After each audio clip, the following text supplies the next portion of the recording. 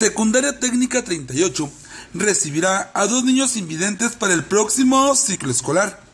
El director José de Jesús González manifestó que el ciclo escolar que termina está atendiendo a un niño invidente de los llanitos y que en este nuevo ciclo escolar se estarán atendiendo a dos niños más con esta discapacidad.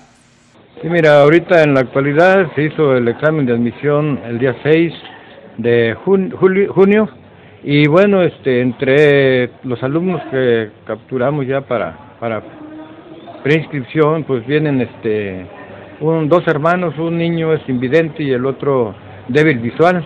Y es un reto para nosotros porque ya contamos aquí con el alumno Fernando, que es, es invidente, y bueno, es un reto porque hemos solicitado también ya libros que vengan en braille y desgraciadamente no contamos todavía con, con ese material para poder apoyar mejor a estos alumnos que, que tienen capacidades diferentes.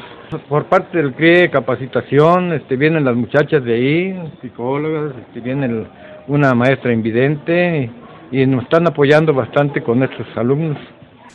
Ante la falta de material para estos alumnos, pidió el apoyo de las autoridades municipales y educativas.